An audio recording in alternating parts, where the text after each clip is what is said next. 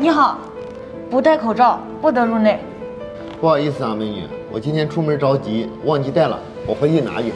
哎，你等一下，如果你家离得比较远的话，就不要回去了，我这里有，你带一个吧。那太谢谢美女了，现在出门要注意安全。谢谢你的提醒，我先走了。你好，进入室内请佩戴口罩。好。哎呀，今天我出门着急，忘记带了。你看，要不你通融一下？公司有规定，通融是不行的。我这有，你带一个吧。那这真是太感谢了。下次一定要记得带。好的，谢谢你的提醒。不客气。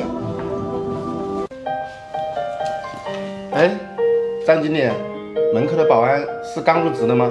是的，老板，他刚来没两天。哎，他怎么了？哦，没什么，就是啊，感觉他挺特别的。嗯，听说他之前还是个小老板呢，后来创业失败了，为了给员工发工资，把自己的车和房都卖了，还欠不少债，现在也是为了养家糊口，才来咱们公司当保安的。是这样啊，那行，你让他到我办公室来一趟。好的，老板。老板，他来了。来了，快，请坐。老板，我刚到公司，不认识你，实在是不好意思。没事，你做的很对。我让你过来啊，是有个竞标的合同，想让你帮我参考一下。我？合同？对，张经理，你去把我们那个竞标的合同拿过来，给他看一下。好的，老板。哎，对了，我记得我没有给你们的工作岗位配备口罩。你的口罩是哪里来的？哦，您说口罩啊，我平时戴的就有，万一有人需要呢，以备不时之需嘛。嗯，你想得很周到，我给你点赞。您就别夸我了，这不是举手之劳吗？嗯。哦，对了，现在厂里啊都不戴这种口罩了，你看，戴上去啊，旁边两个大洞，而且还漏风，对自己啊和他人都不好。你们女生戴啊，摘下来还沾口红，还化妆呢。哎，您别说，还真是哎。来，这个呀是我为厂里新采购的，你尝一下。哎，老板，这个怎么和我平时佩戴的不一样呢？这呀是专为夏天设计的，小猫咪的造型，戴上去时尚又可爱。三 D 立体的剪裁，不卡鼻子，不勒耳朵。像你们女生戴着还不沾口红，不化妆呢。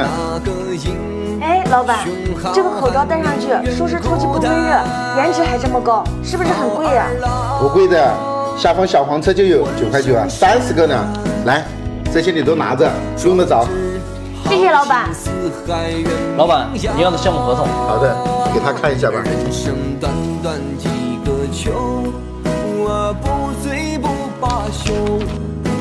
东边我的美人那西边黄河流。